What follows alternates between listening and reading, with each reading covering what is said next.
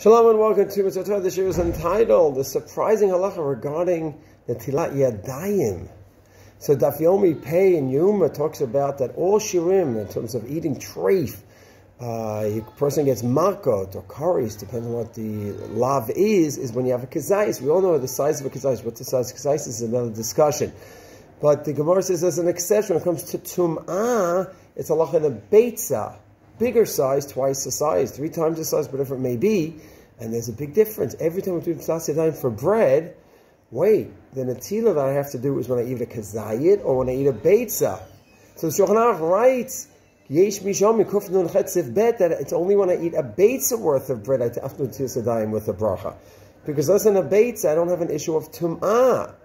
Mishnah Berurah says that those that say no, once you bench over kazayit, then the tilak dam is also over kazayit as well. Halach l'mais, you really should make sure to have a bait, which is not such a big size. That's another discussion what that is.